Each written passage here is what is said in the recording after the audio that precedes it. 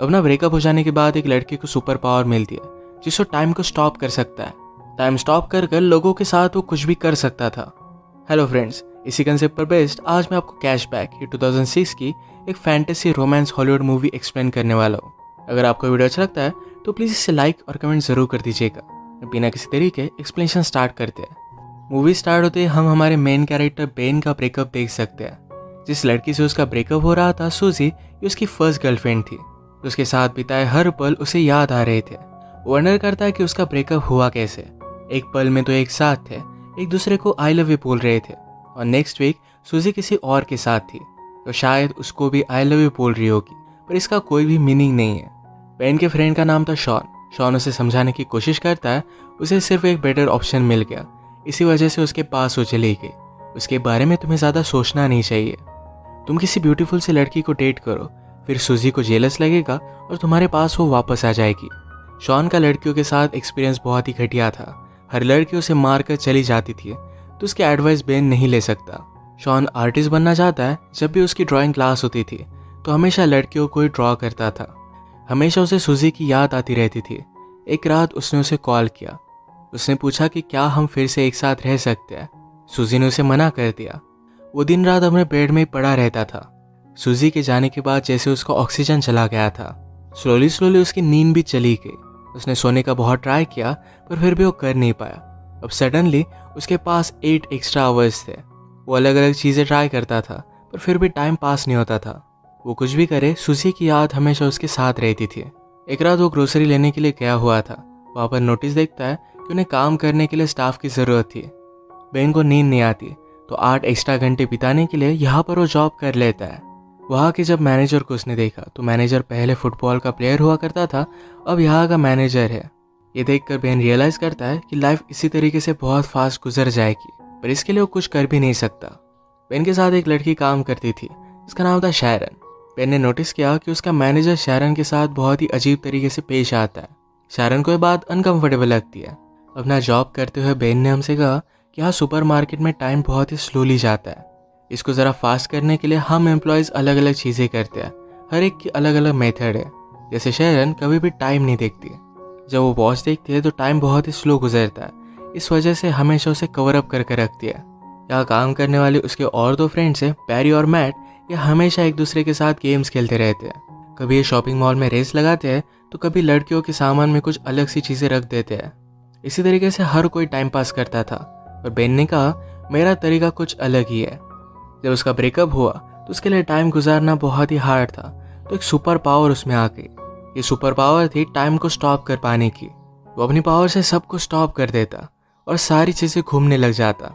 Super market की सारी beautiful लड़कियों को नोटिस करता था। उसे लगता है कि लड़कियों में अलग से ही पावर होती है। वो जब छोटा था तो एक फॉरेन स्टूडेंट उनके घर में रहने के लिए आई हुई थी। वो बहुत ही ब्यूटीफुल थी। वो हमेशा उसे देखता रहता था। बेन जब ये टाइम स्टॉप करता था तो हमेशा लड़कियों की न्यू ड्राइंग करता था। उसने एक नॉवल में पढ़ा था कि लड़कियों को पेंटर के साथ अफेयर करना अच्छा लगता है, क्योंकि उनकी ब्यूटी जैसी है, वैसे वो देख सकते हैं। ऐसे ही बेन ड्राइंग करते हुए अपना टाइम गुजारता था और जब वो अनपॉज करता तो बहुत सारा टाइम गुजर जाता। अगले दिन बेन से मिलने के लिए उसका फ्रेंड शॉन आया। शॉन को पता था कि अब भी बेन अपने इस गर्लफ्रेंड के बारे में सोच रहा है। उसे कहता है, तुम्हें जल्द से मूव ऑन करना चाहिए। शॉन हमेशा उसे यही बात कहता रहता है तो इस मूवमेंट को भी वो पॉज कर देता है। एक्चुअल में बेन और शॉन ये बचपन से बहुत अच्छे फ्रेंड्स थे। जब शॉन की मदर घर से चली जाती तो दोनों मिलकर न्यूड मैगजीन्स देखते। एक दिन जब ये दोनों देख रहे थे तो शॉन की मदर वापस आ गई। वो इन दोनों की फ्रेंडशिप को अलग ही समझती है। आज शॉन बेन से कह रहा था, तुम्हें स्ट्रिप क्लब वगैरह मेरे साथ चलना चाहिए। सुनकर बहन को अपने बचपन का एक किस्सा याद आता है। उनकी स्टेज पर एक लड़की थी, जो पैसों के लिए न्यूड होती थी। ये सारे फ्रेंड्स लाइन लगाकर उसे मिलने के लिए जाते थे। इसके बाद हम देखते हैं, अगले दिन बेन और शायरन की नज़रों से नज़रें मिली थी। लॉकर रूम में शायरन को ज़रा भूख लगी थी तो बेन का सैंडविच मांग लेती है। सैंडविच का पिकल शायरन के गाल पर लग गया था, जैसे कि बॉलीवुड मूवीज़ में होता है। वैसे एक रोमांटिक सा इनका मूवमेंट हुआ। ये मूवमेंट बेन जाने नहीं देना चाहता था, इसे फ्रीज कर कर रखना चाहता था, पर शायरन चली गई। वो कुछ भी कर नहीं पाया। उसे अच्छा लग रहा था कि सुजी से मूव ऑन कर कर, अब वो शायरन को लाइक करने लग गया है। तभी उसके फ्रेंड ने डिस्कस कर रहे थे। मैट कहता है, आज मैंने शारन को डेट के लिए पूछा। मैट इसके लिए बहुत ही एक्साइटेड था, पर बेन को बहुत बुरा लगता है। बेन हमसे कहता है, हमेशा मेरे साथ ऐसी चीज़ें होती रहती है। तो जिसको भी लाइक करता है, उससे दूर चले जाते हैं। वो जब छोटा था तो अपने टीचर को लाइक करता था, पर टीचर के साथ कुछ भी हो नहीं सकता। उसकी और एक क्लासमेट थी, जिसको बहुत लाइक करता था। एक दिन उस लड़की का एक्सीडेंट हो गया। उसके प्लास्टर पर हर कोई ग्राफिटी बनाता था। बेन हमेशा उसे देखता रहता तो उस लड़की ने उसे अप्रोच किया। बेन ने भी अपनी सिग्नेचर उस प्लास्टर पर बनाई। जब उस लड़की का प्लास्टर निकला तो उसका पूरा हाथ हेयर से भर गया था। सब लोग उसे चिढ़ाने लग गए। वो अकेली पड़ गई थी तो बेन उसके पास आकर बैठा। कहा कि तुम जैसी हो, वैसे ही ब्यूटीफुल हो। इसके बाद एक गर्लफ्रेंड बॉयफ्रेंड बन गए थे। एक दिन बेन ने उसे स्कूल के पीछे बुलाया। उसके पास आई और पूछती है, क्या तुम मुझे किस करना चाहते हो? बेन कहता है कि हाँ पर कल तुम मुझे यहाँ मिलना। कल स्कूल में कोई भी नहीं होता। कल हॉलीडे था तो उन्हें कोई भी डिस्टर्ब नहीं करता। अगले दिन बेन ने उसका बहुत वेट किया, पर वो आई ही नहीं।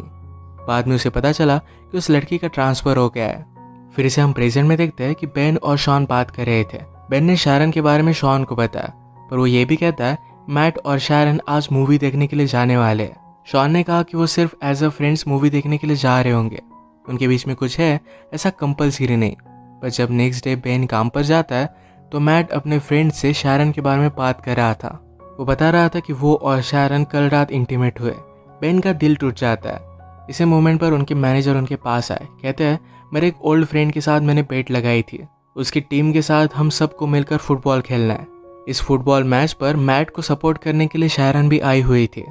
इनमें से किसी को भी फुटबॉल खेलना आता नहीं था। तो बहुत ही बुरी तरीके से हार रहे थे। ऑपोजिट टीम के 26 गोल हो गए थे। और इनके ज़ीरो ही थे। बेन को बोर होने लग जाता है तो टाइम को फिर से उसने स्टॉप कर दिया। बेन हमसे कहता है, मुझे हमेशा यहाँ पर बहुत ही ज़्यादा सेफ़ लगता है, कोई भी उसे डिस्टर्ब नहीं कर सकता। वो कैफेटेरी में गया तो अचानक से उसे कुछ आवाज़ आई, वो आसपास देखने लग जाता है। एक आदमी अनफ्रीज होकर वहाँ से भाग गया।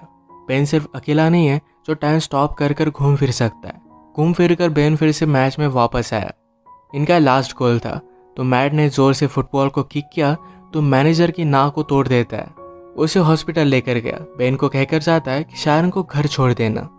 बेन और शायरन फिर कॉफ़ी के लिए आए। बेन शायरन से पूछता है कि तुम और मैट डेट कर रहे हो? शायरन ने कहा कि ऐसा कुछ भी नहीं है। हम सिर्फ़ एज अ फ्रेंड से मूवी देखने के लिए गए हुए थे। बेन को ये बात सुनकर अच्छा लगा। शायरन का एक बॉयफ्रेंड था। उसे ब्रेकअप किए हुए उसे छह महीने गुजर चुके हैं। बेन भी अपने ब्रेकअप के बारे में उसे बताता है। एक दूसरे को और भी जान लेते हैं।